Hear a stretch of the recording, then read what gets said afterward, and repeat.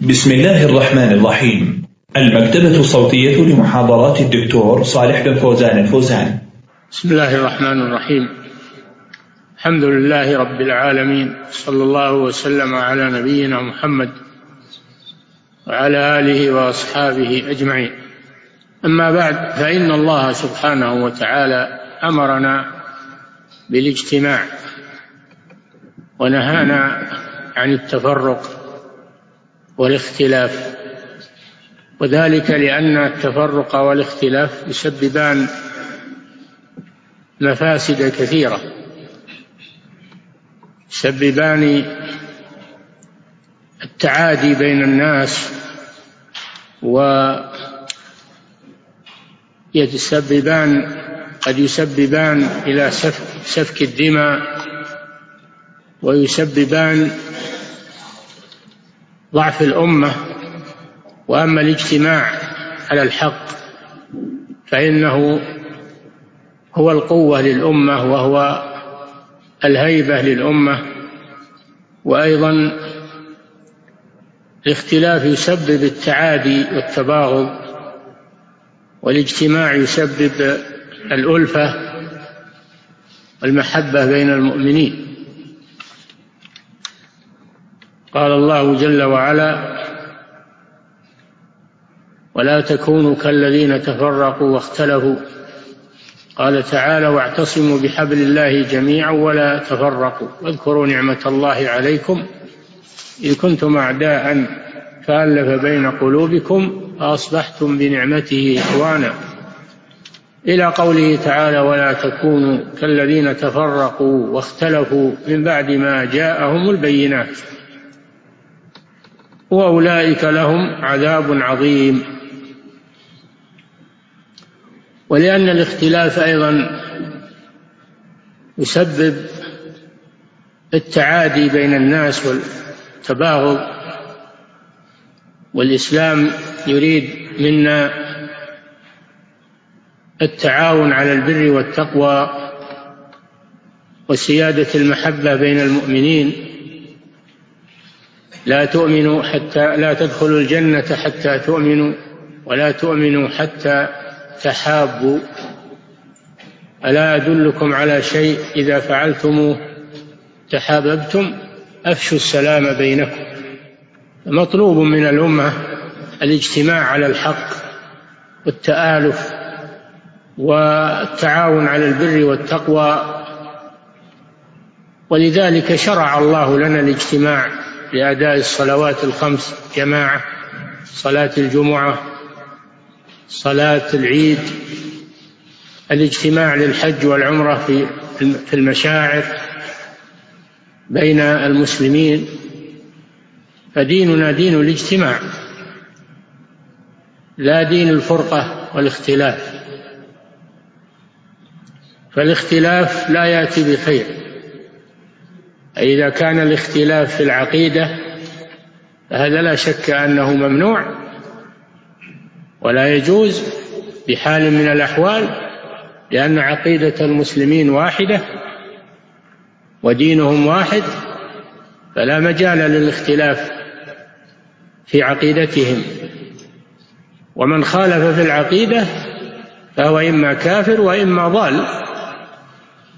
وإما فاسق أو عاصي على حسب مخالفته. ولهذا قال صلى الله عليه وسلم وستفترق هذه الأمة على ثلاث وسبعين فرقة كلها في النار إلا واحدة. قالوا من هي يا رسول الله؟ قال من كان على مثل ما أنا عليه اليوم وأصحابي أما الاختلاف في المسائل الفقهية المستنبطة من الكتاب والسنة لا شك أن مدارك العلماء تختلف والعلم الذي يعطاه كل واحد يختلف فقد يبلغ أحدهم ما لم يبلغ الآخر. ولكن هذا الاختلاف لا يوجب عداوة ولا تباغض. بدليل أن العلماء من عهد الصحابة وهم بينهم اختلاف في المسائل الفقهية وما حصل بينهم تعادي ولا تقاطع أبدا. فالخلاف الفقهي الذي سببه الاستنباط من الأدلة وكل يؤتيه الله من الفهم وما يشاء ولكن الواجب في الاختلاف الفقهي الأخذ بما يقوم عليه الدليل ويترجح بالدليل. ومن لم يظهر له الدليل فإنه لا يلام إذا بقي على قول رآه وظهر له. أما إذا تبين الدليل فلا يسع أحدا أن يخالفه. قال تعالى فإن تنازعتم في شيء فردوه إلى الله والرسول. إن كنتم تؤمنون بالله واليوم الآخر. فالذي يبقى على قول يخالف الدليل وهو يعلم أنه مخالف هذا متبع لهواه هذا يكون متبعا لهواه أما الذي يبقى على قول يرى أنه حق ولم يظهر له ما يخالفه وهذا القول إنما هو في المسائل الفقهية فهذا يعذر لأنه لم يتبين له خلافه وهذا لا يوجب التعادي بين المسلمين والتقاطع بين المسلمين لأن هدف الجميع هو الوصول إلى الحق. فهذا هو التفصيل الاختلاف وما كان منه محمودا وما كان منه مذموما والاختلاف الضار الاختلاف غير الضار. وإلا فالاختلاف لا بد منه. قال تعالى ولا يزالون مختلفين إلا من رحم ربك. الذين رحمهم الله لا يختلفون بينهم. بمعنى أنهم وإن وإن اختلفوا في مسألة فقهية فإنهم لا يختلفون في جماعتهم و وكلمتهم. كلمتهم واحدة وجماعتهم واحدة. أما الاختلاف الذي يؤدي إلى التفرقة والتعادي والتعصب هذا خلاف مذموم وهو اتباع الهوى والتعصب للأقوال والأشخاص. هذا أمر محرم. لأن دافعه الهوى وليس دافعه اتباع الدليل. هذه مسألة لا بد من معرفتها. وموقف المسلم من الاختلاف إن كان يعرف إن كان يعرف الدليل ويعرف الترجيح فإنه يأخذ ما ترجح وما قام عليه الدليل وإن كان لا يعرف ذلك فإنه يسأل أهل العلم.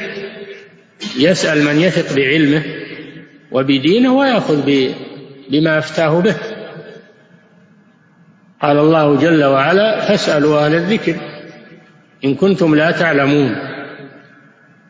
هذا القيد إن كنتم لا تعلمون. أما الذي يعلم فإنه يجب عليه أن يأخذ بما تبين دليله وما قامت حجته من الكتاب والسنة. وفق الله الجميع لصالح القول والعمل. صلى الله وسلم على نبينا محمد. أحسن الله إليك. نشكر لفضيلة نشكر لمعالي الشيخ هذه الكلمة الموجزة القيمة وحقيقة الأسئلة التي وردت إلى إلينا خلال هذا الأسبوع وهذه الليلة كثيرة لعل الوقت يتسع إن شاء الله لعرضها جميعها على معالي الشيخ. نعم. سألنا سائل الآن من الانترنت عن طريق الانترنت يقول من النرويج يقول نور الدين المغربي من النرويج يقول بعد السلام هناك بعض الدعاة يذكرون أن يرمون الشيخ الألباني رحمه الله بالإرجاء فهل هذا هل هذا صحيح ثابت عن عن الشيخ؟ الشيخ الألباني رحمه الله كغيره يخطي ويصيب. يخطي ويصيب. فإذا أخطأ في مسألة فلا نحكم عليه بأنه مرجي أو أنه بل نقول إنه أخطأ في هذه المسألة. نقول أخطأ في هذه المسألة والعصمة لكتاب الله. كل يخطي ويصيب. أحسن الله إليك. يقول السائل هناك من يقول من جهة الشيعة يقول يقول للشيعة أعتقد أنكم أيها الشيعة قد قمتم بحق أهل البيت أفضل من أهل السنة. وقد ويقول أيضا قد ظهر من أهل السنة من يكفر الشيعة وأستطيع أن أجمع أخطاء من كفركم فأكفركم فأكفرهم بها. ويقول للشيعة نجتمع فيما اتفقنا عليه ويعذر بعضنا بعضا فيما اختلفنا فيه. فهذه الأقوال الصحيحة جزاكم الله خيرا. نحن بيننا كتاب الله وسنة رسوله صلى الله عليه وسلم بيننا وبين الشيعة وبيننا وبين غيرهم من الفرق. فنحن لا نتبع أهواءنا ونتبع أشخاصا معينين غير الرسول صلى الله عليه وسلم إنه هو القدوة التي أمرنا الله بالاقتداء بها. قال تعالى لقد كان لكم في رسول الله أسوة حسنة لمن كان يرجو الله واليوم الآخر وذكر الله كثيرا. وقال النبي صلى الله عليه وسلم إني تارك فيكم ما إن تمسكتم به لن تضلوا. بعد كتاب الله سنتي. قال عليه الصلاة والسلام فإنه من يعش منكم فسيرى اختلافا كثيرا. فعليكم بسنتي وسنة الخلفاء الراشدين المهديين من بعدي. فنحن ندعوهم وغيرهم من الفرق إلى كتاب الله وسنة رسوله صلى الله عليه وسلم. فمن حكم الكتاب والسنة أنه على الصواب وجب اتباعه. لا اتباع الناس وإنما اتباع الكتاب والسنة. هذا هو الواجب على المؤمنين. وأما أننا نكفرهم وأنهم يستطيعون يجمعون مسائل يكفروننا بها فنحن لا نكفر إلا بدليل ونحن نرجعهم ونرجع غيرهم إلى كتبهم كتب الشيعة نفسها. وينظر في مقالاتهم ينظر في مقالاتهم المدونة عن أئمتهم. فإن كانت مقالات كفرية يحكم عليهم بها وإن كانت غير كفرية فنبرأ إلى الله. فالحكم بيننا وبينهم أولا كتاب الله سنة رسوله صلى الله عليه وسلم. أما من جهة أقوالنا وأقوالهم فنحن نعرضها على كتاب الله وسنة رسوله. وكتبهم موجودة ومطبوعة وينشرونها ويوزعونها. في العالم وهي مشحونة بأقوالهم وأقوال أئمتهم فيرى ما فيها ويحكم عليهم بموجبها. أيضا يحكم عليهم بما ينطقون به وما يقولونه في حفلاتهم وفي تجمعاتهم. أقوالهم التي يقولونها يحكم عليهم بموجبها. نحن لا نتهم أحدا ولا نقول في أحد إلا بما يصدر منه هو وما هو موجود في كتبه التي يرجع إليها. هذا هو الواجب معهم ومع غيرهم. أما كلمة نجتمع فيما اتفقنا عليه إيش اتفقنا عليه؟ العقيدة مختلفة. إذا اختلفت العقيدة فماذا نجتمع عليه؟ نعم إذا كان العقيدة سليمة وحصل بيننا اختلاف في غير العقيدة يمكن. أما إذا كانت الخلاف في العقيدة فلا يمكن الاجتماع. إلا أن المخطئ يرجع إلى الصواب ويلتزم بالعقيدة الصحيحة. نعم. أحسن الله إليكم. يقول السؤال تعلمون ما يحصل الآن من الاختلاف بين الجماعات الموجودة عند أهل السنة؟ فما رأيكم في محاولة توحيد الصف مع تلك الجماعات مثل التبليغ الإخوان مع التنازل عن بعض الأشياء لكي يتحد الصف؟ وأيضا ما أفضل طريقة للتعامل مع تلك الجماعات وجزاكم الله خير الجزاء. الصف لا يمكن أن يتحد ولا يمكن أن نجتمع إلا على كتاب الله وسنة رسوله صلى الله عليه وسلم وما عليه سلف الأمة.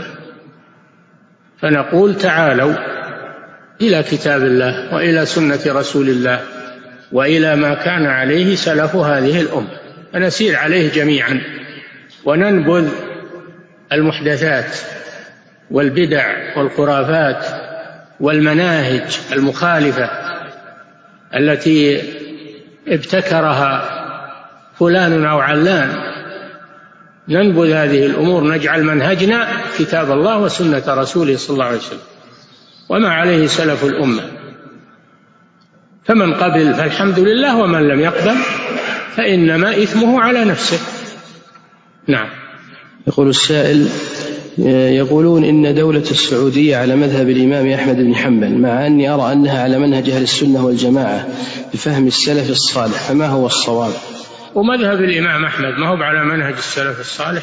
الإمام أحمد من أئمة السلف الصالح. رحمه الله ورضي عنه. فهو من الأئمة الأربعة من المحدثين ومن أئمة السلف الصالح.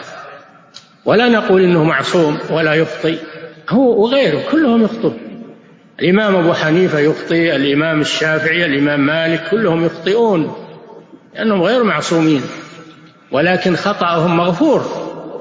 إن أصابوا فلهم أجران وإن أخطأوا فلهم أجر واحد على اجتهادهم. فالإمام أحمد من أئمة أهل السنة ولكنه ليس بمعصوم فنأخذ ما وافق الدليل مع الإمام أحمد أو مع غيره والذي على مذهب أحمد هو على مذهب أهل السنة والجماعة والذي على مذهب أبي حنيفة أو مذهب مالك أو مذهب الشافعي هو على مذهب أهل السنة والجماعة والحمد لله. ولهذا تسمى مذاهبهم مذاهب أهل السنة. ويقال لهم أئمة أهل السنة. نعم. أحسن الله إليكم. إذا دخل شخص لمجلس مليء بالناس فما هي السنة في ما هي السنة في السلام؟ هل يصافح من في المجلس كلهم أم يكتفي بقول السلام عليكم ويجلس؟ إن كان قادما من سفر فإنه يصافحهم سلام السفر سلام القدوم من السفر يصافحهم. أما إذا كان أنه موجود في البلد وليس قادما من سفر فيكفي أنه يسلم. إذا دخل يسلم ويجلس. نعم. أحسن الله إليكم. يقول فضيلة الشيخ إذا كانت إذا كان هناك خلاف في مسألة أو تفسير فهل لمستدل أن يستدل بالرأيين في موضعين مختلفين؟ يا أخوان الله لم يكلنا إلى الاختلاف والآراء والاجتهادات. الله أحالنا على كتابه وسنة رسوله صلى الله عليه وسلم. فإن تنازعتم في شيء فردوه إلى الله والرسول. فنرد الاختلاف أو الخلاف نرده إلى الكتاب والسنة. فإن كان فنأخذ بما وافق الدليل ونترك ما خالف الدليل ونجتمع على هذا. وهكذا كان سلفنا الصالح. كانوا يختلفون ولكن يرجعون إلى كتاب الله وسنة رسوله وينتهي خلافهم ينتهي نزاعهم نعم. أحسن الله إليكم. يقول ما حكم إدخال الصور للمسجد إذا كانت الصور في داخل مجلة أو كتاب؟ يخفيها. إذا كان يحتاج إلى إدخالها يخفيها يلفها بشيء يدخلها في جيبه. إذا كان يحتاج إلى أخذها معه كصورة البطاقة التي لا بد منها يحملها معه.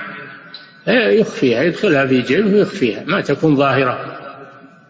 ويحرص ألا يدخل الصور في المسجد إلا عند الحاجة إلا عند الحاجة مع إخفائها وعدم ظهورها نعم. أحسن الله إليكم.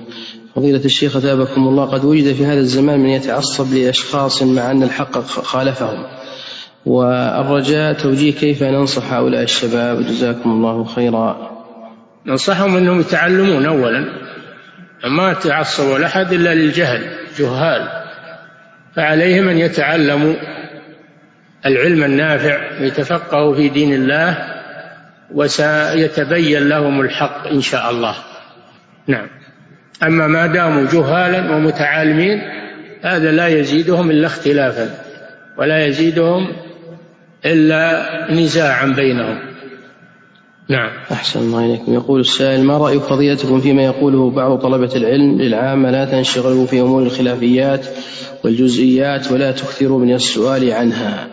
نقول اشتغلوا بالتفقه في كتاب الله وسنة رسوله. وليس هذا جزئيات هذا من أمور الدين.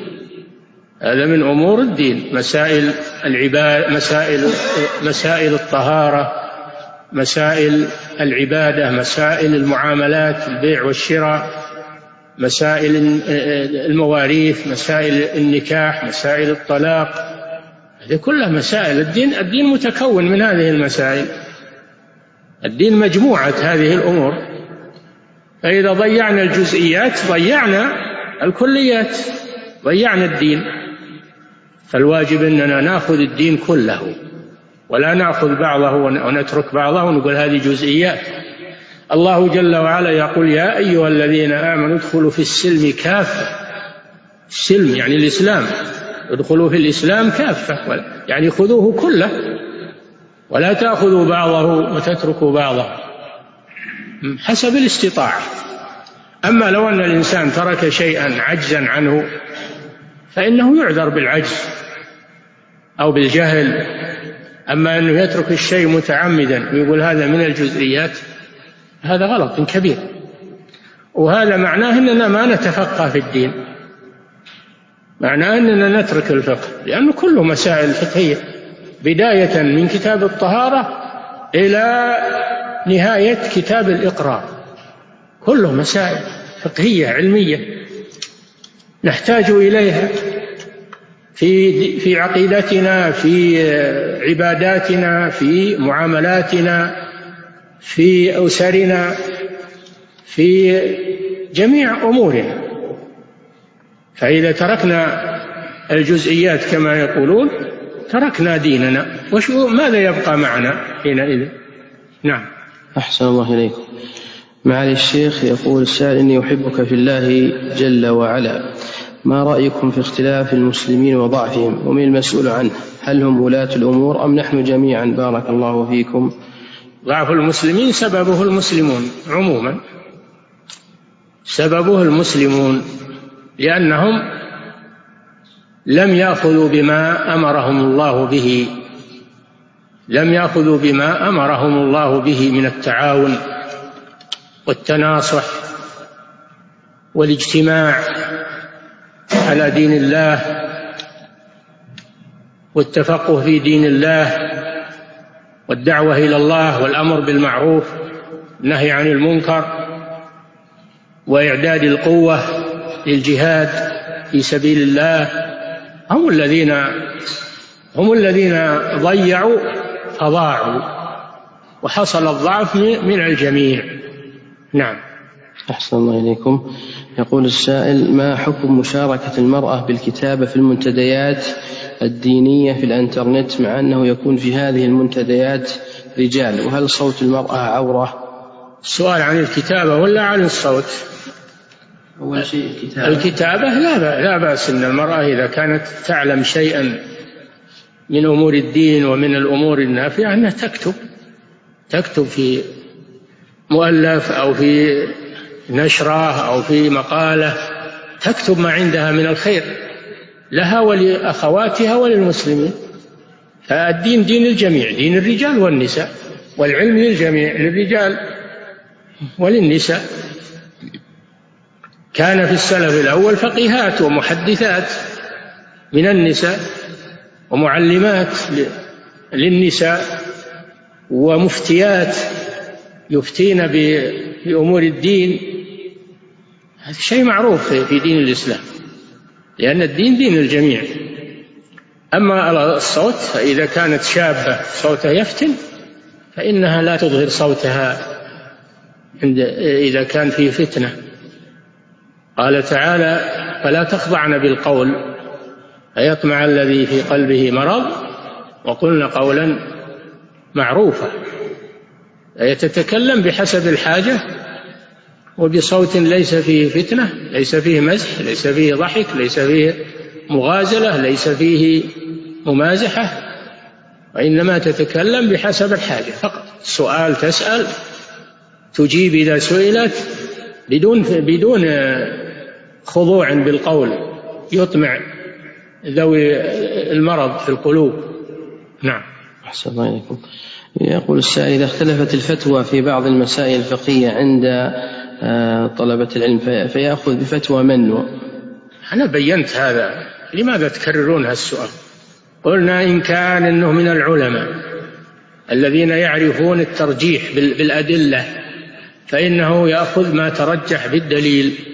أما إن كان من العوام أو من المبتدئين في طلب العلم فعليه أن يسأل أهل العلم ويسأل من يثق بدينه وعلمه ويأخذ بقوله.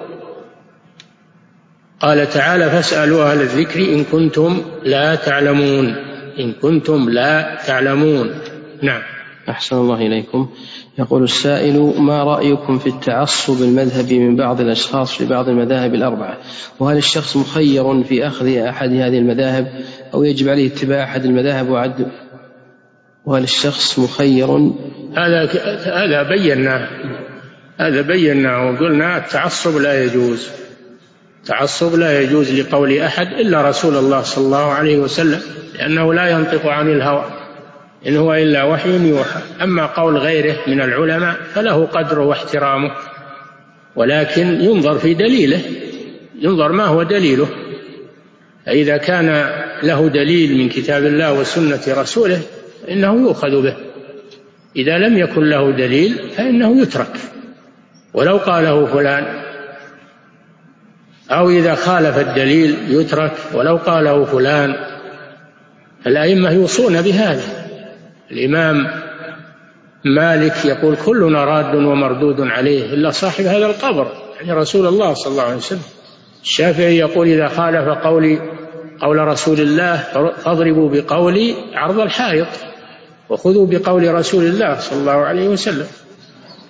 فهم يوصون بأن يؤخذ بالدليل ولا تؤخذ أقوالهم مجرد أقوال حتى تعرض على الدليل. نعم. أحسن الله إليكم. يقول السائل في سؤاله يقول إحدى الجوامع التي يحضر فيها الموتى بعد تجهيز الميت يصلى عليه يصلي عليه أكثر من جماعة. هل يوجد فرق في الأجر بين من صلى عليه أولا والجماعة الأخرى؟ الذي لم يصلي على الميت يصلي عليه. أما الذي سبق أنه صلى مع الجماعة الأولى فلا يكرر الصلاة عليه. صلي عليه مرة واحدة مع الجماعة الأولى مع الثانية مع الثالثة. الذي لم يصلي عليه صلي سواء في المسجد أو في القبر أو أو في المقبرة أو بعد الدفن. صلي على القبر إذا فات ودفن الميت وهو ما صلى عليه صلي على القبر كما فعل النبي صلى الله عليه وسلم. نعم. كيف نجمع بين قول ابن عباس رضي الله عنه الخلاف شر وفي وبين ما روي عن الرسول صلى الله عليه وسلم خلاف أمتي رحمة. ليس هذا قول ابن عباس هذا قول ابن مسعود. هذا قول ابن مسعود رضي الله عنه. الخلاف شر. يعني تفرق المراد بالخلاف هنا تفرق المسلمين. تفرق المسلمين بحسب الآراء الاجتهادية. فإذا كانت الفتوى في البلد على قول واحد من أقوال المجتهدين فإننا نأخذ بذلك لأجل الاجتماع ولا نختلف. ما دام هذا القول لم يظهر أنه مخالف للدليل. فإذا أخذ به العلماء في هذا البلد وساروا عليه نأخذ به لأجل جمع الكلمة لأن الاختلاف شر هذا معنى قول ابن مسعود. وقاله بمناسبة هو أن عثمان رضي الله عنه كان يتم الصلاة في منى. يرى إتمام الصلاة وكان يتم. وكان الصحابة يصلون خلفه. ومنهم ابن مسعود. وابن مسعود لا يرى إتمام الصلاة لكن كان يصلي خلف عثمان ويتم خلفه. فلما سئل قال يا ابن أخي الخلاف شر الاختلاف شر. فهذا فيه دليل على أن المسلمين إذا كانوا يأخذون بأحد الأقوال الاجتهادية التي لم يتبين أنها مخالفة للدليل فإنه يمشي معهم ولا يخالفهم لأجل جمع الكلمة. نعم. أحسن الله إليكم. يقول السائل ما رأي فضيلتكم بين ما يطرح بين الفينة والأخرى لمنع اختلاف القضاة في أحكامهم فيما يسمى تقنين الأحكام الشرعية? هذه مسألة لها أهلها ولها ما تثار في مثل هذا.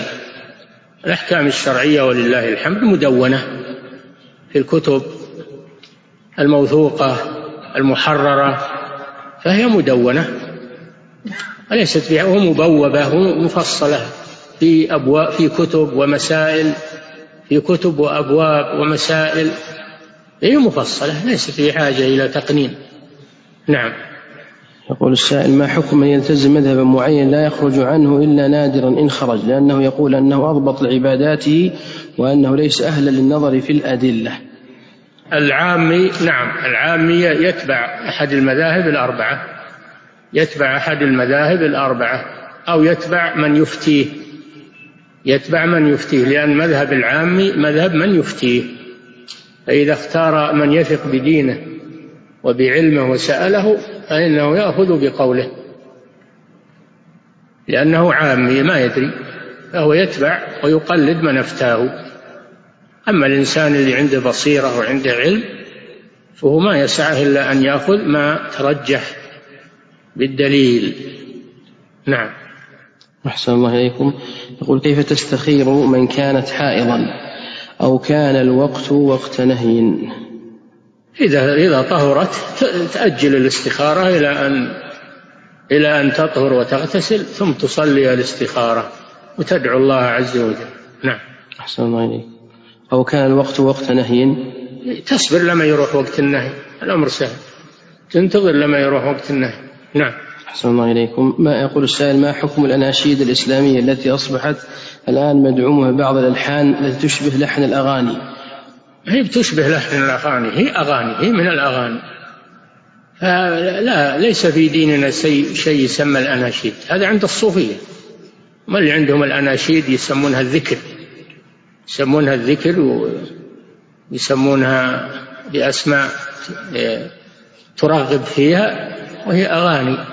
له ولعب لا الإسلام ليس فيه أناشيد لكن فيه إنشاد الشعر المفيد الذي فيه حكم أو فيه مواعظ أو فيه لغة. لا بأس أن تستمع إلى من ينشد الشعر. وقد استمع النبي صلى الله عليه وسلم إلى من ينشد الشعر. فالإنشاد غير الأناشيد. الأناشيد تكون جماعية وتكون منغمة تكون بأصوات ناعمة. فيها فتنة. وأما الإنشاد فهو بصوت واحد ينشد ويكون آه، السامع يستفيد من هذا من هذه القصيدة أو هذه المنظومة. نعم. أحسن الله إليكم. يقول السائل هل يلزم التحذير من أهل البدع بذكر أسماء رموزهم أو لا؟ إذا كان هنا من يروج لهم ويدعو لهم فيرد عليه ويبين هذا الشيء وأن فلانا الذي تدعو إليه وتثني عليه عنده كذا وكذا من الأخطاء. من أجل لا يغتر الناس بهذا. أما إذا كان ما له ذكر ولا له أحد يدعو لمذهبه فلا حاجة إلى الإثارة. نعم. أحسن الله إليكم. يقول السائل ما رأيك في من ينقم على الحاكم بسبب الأمور المالية؟ فيقول بأن بأننا في حاجة والدخل محدود والدولة بخير ولا ينال خيرها إلا ولا ينال خيرها إلا من هم قريبون من الحاكم وحاشيتهم. أما الضعفاء فليس لهم في الفضل الزائد من خيرات البلد. الحاكم لا يجوز الكلام فيه إلا إذا خرج عن الإسلام. إذا خرج وكفر حينئذ إذا كان بالمسلمين قوة فإنهم يستبدلونه بغيره. أما ما دام أنه لم يخرج من الإسلام وعنده أخطاء فلا يجوز الكلام فيه ولا يجوز الخروج عليه لما في ذلك من المفاسد الكثيرة سفك الدماء وتفرق الكلمة وتسلط الأعداء. فهذا أمر أصل من أصول العقيدة. ولو أنه عنده أثرة النبي صلى الله عليه وسلم يقول سترون بعدي أثرة؟ يقول للأنصار رضي الله عنهم سترون بعدي أثرة فاصبروا حتى تلقوني على الحوض. حتى تلقوني على الحوض. ما دامت الأمور أمور دنيوية الحمد لله الأمر سهل. الأمور دنيوية نصبر ما فيها شيء. نعم وكل عليه حسابه كل عليه حسابه كل مسؤول عن عمله. نعم. أحسن الله إليكم. نفس السائل يقول يا شيخ أنا أرغب في السفر إلى بلاد الغرب للسياحة. لمدة قصيرة بالرغم من ابتعادي عن الأماكن المحرمة والاستمتاع بالطبيعة والأجواء وما من الله عليه من نعم مباحة. فهل أنا على إثم في ذلك؟ نعم. هذا لا يجوز السفر إلى بلاد الكفار من أجل السياحة والنزهة لأن المضرة أكثر. لأن المضرة فيها أكثر. إنما يجوز السفر إلى بلاد الكفار في أحوال محدودة كالسفر للتجارة ثم يرجع السفر للعلاج ثم يرجع السفر لتعلم تخصص لا يوجد في بلاد المسلمين والمسلمين بحاجة إليه ثم يرجع آه، السفر للدعوة إلى الله عز وجل. هذه أغراض صحيحة يسافر من أجلها مع التمسك مع التمسك بالدين والابتعاد عن مواطن الفتن. أما واحد يسافر للنزهة إلى بلاد الكفار فالسفر إلى بلاد الكفار الأصل فيه التحريم. الأصل فيه التحريم لما فيه من الفتنة والشر. ولو قلت إني أنا بضبط نفسي وانت أنت إنسان بشر. إنسان لا تؤمن عليه الفتنة ما دام حيا لا تؤمن عليه الفتنة. ولا تزكي نفسك وتقول أنا ما يمكن إني أنفتن ما يمكن. لا يا أخي لا تعرض نفسك للفتن. نعم. أحسن الله إليكم يقول السائل في سؤاله اختلاف الثلاث وسبعين فرقة من هذه الأمة هل هو اختلاف تنوع أم اختلاف تضاد وهل هم موجودون اليوم في في في بلدان المسلمين وهل جماعة التبليغ والإخوان مثلا من هذه من هذه الثلاث والسبعين فرقة أم لا؟ اختلاف الثلاث والسبعين اختلاف تضاد وليس اختلاف تنوع. اختلاف التنوع هو الاختلاف الاجتهادي في مسألة من المسائل الفقهية. هذا اختلاف تنوع كل واحد أخذ باحتمال. الدليل محتمل. الدليل محتمل الآية محتملة الحديث محتمل وكل واحد أخذ باحتمال من الدليل. هذا تنوع. أما إذا أخذوا بأقوال مخالفة للأدلة فهذا اختلاف تضاد. واختلاف الثلاث والسبعين فرقة هذا من اختلاف التضاد. ولهذا قال صلى الله عليه وسلم كلها في النار. لو كان اختلاف تنوع ما قال كلها في النار فالمسلمون بينهم اختلاف تنوع الفقهاء الأربعة الأئمة الأربعة بينهم اختلاف تنوع. هل نقول إنهم في النار؟ حاشا وكلا.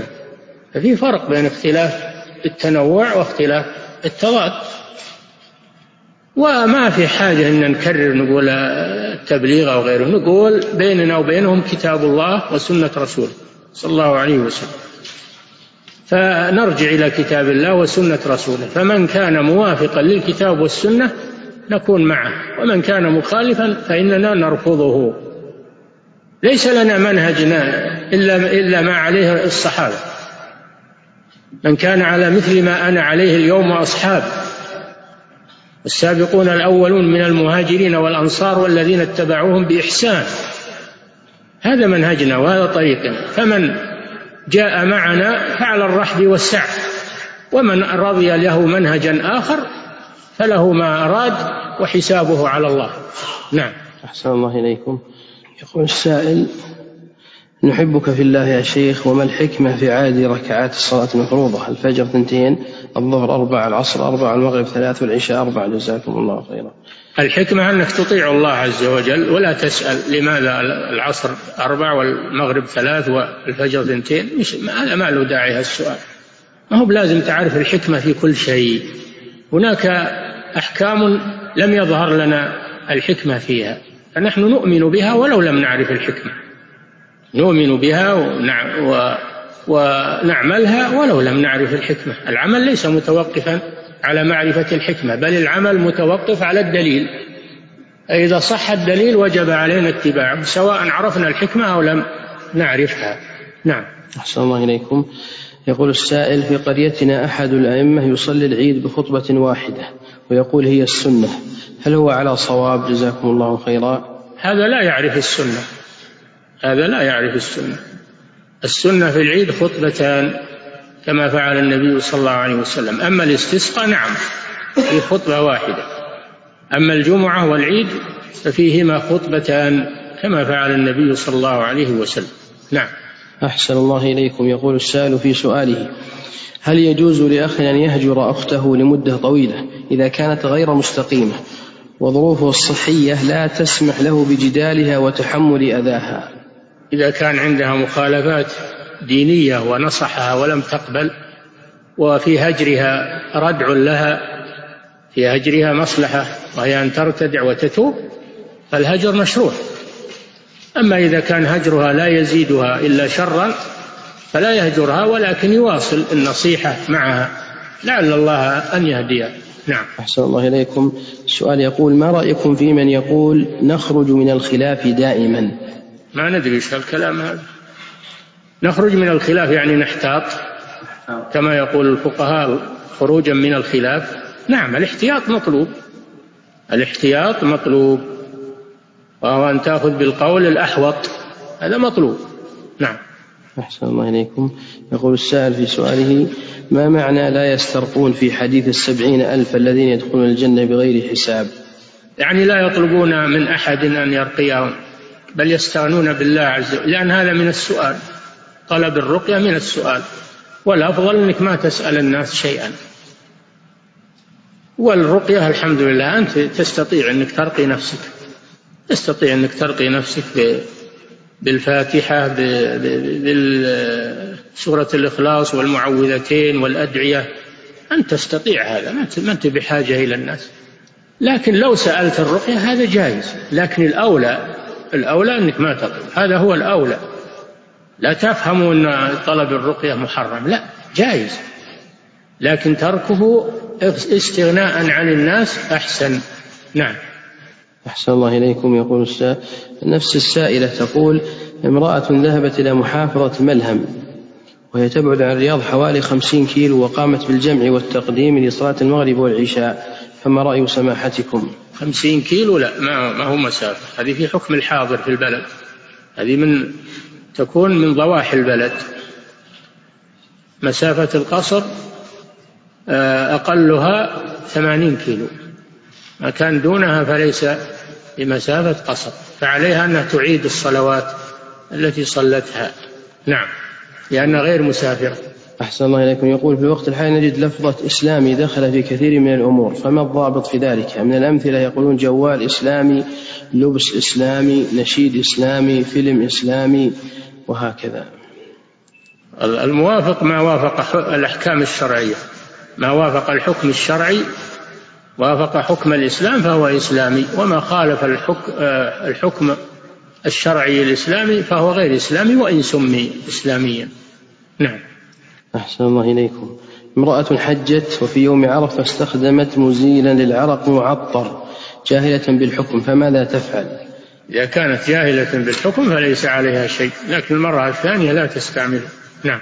ما حكم تصوير الأطفال بالفيديو بحجة أنهم صغار وكي يتذكروا مواقفهم بعد أن يكبروا؟ تصوير حرام للصغار والكبار. ذوات الأرواح حرام تصويرها. قال صلى الله عليه وسلم كل مصور في النار. يجعل له بكل صورة صورها نفس يعذب بها في جهنم. وقال عليه الصلاة والسلام أشد الناس عذابا يوم القيامة المصورون. تصوير حرام لذوات الأرواح الصغار والكبار. وإنما يستثنى ما كان للضرورة تصوير الضروري كالبطاقة الشخصية أو جواز السفر. هذا أصبح ضرورة والله جل وعلا يقول وقد فصل لكم ما حرم عليكم إلا ما اضطررتم إليه. هذا من باب الضرورة. أما اللي يصور للذكريات أو يصور آه، لمحبة الصور والفنون هذا حرام. وهذا فيه العذاب وفيه اللعنة وفيه الغضب من الله عز وجل وفيه أنواع من الوعيد. نعم. أحسن الله إليكم. ما صحة حديث من مات يوم الجمعة أمن من عذاب القبر؟ ما أدري ما أعرف ما أدري عنه. نعم. نعم. نعم. يقول السائل ما قول فضيلتكم بأن وضع اليدين على الصدر بعد الرفع من الركوع بدعة؟ كما قاله بعض أهل العلم. البدعة هذا القول هذا هو البدعة. أما قبض اليدين في حالة القيام سواء قبل الركوع أو بعد الركوع فهذا هو السنة. السنة قبض اليدين على الصدر في حالة القيام في الصلاة قبل الركوع أو بعد الركوع. من اللي فرق بين ما قبل الركوع واللي ما بعد؟ وش الدليل على هذا؟ نعم. أحسن الله إليكم. يقول نسمع كثيرا أن الاختلاف رحمة وأن اختلاف الفقهاء تخفيف. فكيف نجمع بينهما وبين قوله تعالى ولا يزالون مختلفين إلا من رحم رب إلا من رحم ربك؟ جزاكم الله. الاختلاف رحمة هذا كلام كلام للناس ما هو من ما هو من حديث رسول الله صلى الله عليه وسلم. روي إنه مرفوع إلى الرسول لكنه غير صحيح. والاختلاف ليس فيه رحمة بل فيه عذاب. ولهذا قال ابن مسعود يا ابن أخي الخلاف شر. الخلاف لكن يسوغ للإنسان انه يأخذ بالقول الذي لم يظهر له مخالفته للدليل. وإذا كان عاميا يأخذ بفتوى من أفتاه يجوز هذا. أما أنه يقول الخلاف رحمة ويأخذ ما يشتهي وما تميل إليه نفسه هذا ليس رحمة. نعم. أحسن الله إليكم. يقول السائل فضيلة الشيخ الاختلاف في كشف وجه المرأة هل يعد من الاختلاف المذموم؟ نعم الاختلاف في كشف وجه المرأة هذا موجود لكن عند الاختلاف نرجع للدليل والدليل يقول إن المرأة يجب عليها أن تغطي وجهها عن الرجال هذا دليل من الكتاب والسنة ولا يسع أحد أن يخالف الدليل لقول فلان أو اجتهاد فلان. ما دام اتضح الدليل أنه مع من يوجب على المرأة أن تستر وجهها فلا يجوز لأحد أن يقول المسألة فيها خلاف. فيها خلاف لكن الدليل مع من؟ إحنا ما ننكر الخلاف لكن نقول الدليل مع من؟ مع أي القولين؟ فمن كان معه الدليل أخذنا به. نعم. أحسن الله إليكم. يقول ما حكم غيبة المبتدع الذي بدعته دون الكفر؟ وبدعته ظاهرة وهو يدعو إليها. البدعة على أقسام منها بدعة مكفرة مثل بناء مثل دعاء الأموات والاستغاثة بهم والذبح لهم. هذه بدعة مكفرة. وبدعة غير مكفرة لكنها مفسقة مثل البناء على القبور إذا لم يدعوها ولم يعبدها ولكن بنى عليها.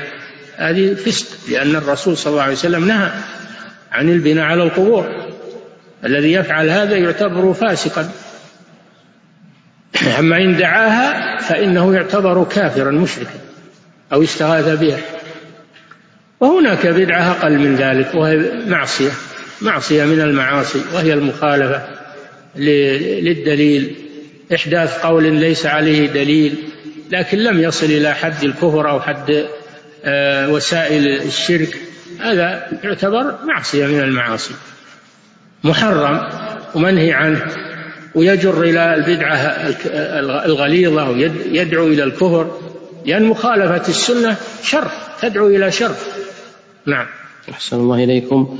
يقول السائل شخص بعد بلوغه استمر أكثر من سنتين وهو يصلي بدون أن يغتسل من الجنابة وهو لا يدري هل هو هل هو كان جاهلا بالحكم أو متساهل أو غير مبالي. فماذا يصنع الآن فيما مضى؟ هل يعيد الصلوات تلك السنين وكيف تتم إعادتها؟ يعيش بين المسلمين ولا يدري أن أن الاغتسال واجب. هذا مهمل هو اللي مهمل. فعليه أنه يعيد الصلوات لأنه مهمل. يعيش بين المسلمين يصلي بلا اغتسال ويقول أنا جاهل. الجاهل يسأل الجاهل يشوف الناس يسمع. نعم. أحسن الله إليكم. يعني يعيد الصلوات. نعم يعيد الصلوات لأنه لا عذر له. ما سأل ولا ولا ولا ولا سمع. يعني ما يمكن أنه يسمع. إن كنتم جنبا فطهروا ما يسمع الأحاديث عن الرسول صلى الله عليه وسلم. ما عمره سمع حديث في أن الرسول أمر بالاغتسال من الجنابة وهو يعيش مع المسلمين. هذا مهمل. نعم. أحسن الله إليكم. يقول ما رأيكم في من يقول أنا أجتهد كما يجتهد العالم الفلاني وأتبع ما اهتديت له بالنظر في الدليل وإذا أخطأت فغيري ألف مجلدات في التراجع. ما شاء الله الله كريم. يعني إذا وصل إلى هالمرتبة صار مثل الإمام أحمد والإمام الشافعي ومالك. إحنا نفرح بهذا أو أبي حنيفة. أما أنه جاهل مركب ويقول أنا أجتهد مثل ما يجتهد الأئمة هذا من الغرور والعياذ بالله. نعم. يقول السائل ما هو واجبنا تجاه المنكرات التي نراها بحيث أجدها آه آه واجبكم مثل ما في الحديث. من رأى منكم منكرا فليغيره بيده فإن لم يستطع بلسانه فإن لم يستطع فبقلبه.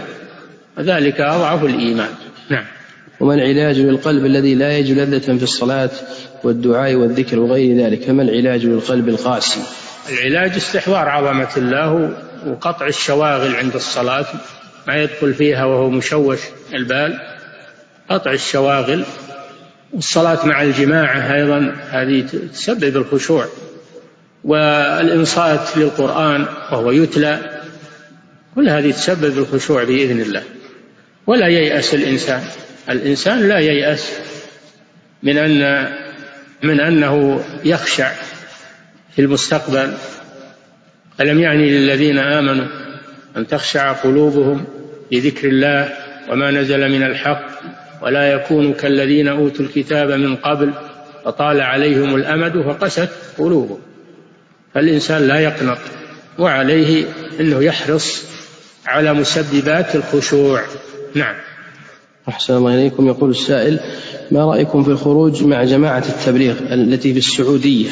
كان جماعة التبليغ شاغلتكم كل الأسئلة عنها يا أخي خليك مع أهل السنة خليك مع خليك مع اللي تعرف من بلدك من أهل الخير. صل في المسجد واجلس في حلق الذكر واشتغل بشغلك واترك عنك الخروج مع فلان وعلان خليك في المسجد في بيتك في عملك.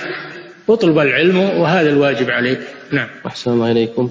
يقول السائل أو السائلة تقول هل يجوز الحائض أن تدخل المسجد لحضور محاضرة نسائية أو أو نحو من أو غير ذلك؟ لأجل العلم. هل إيش؟ هل يجوز الحائض أن تدخل المسجد؟ لا الحائض لحضور المحاضرات. ولا المحاضرات الحائض ما تدخل المسجد.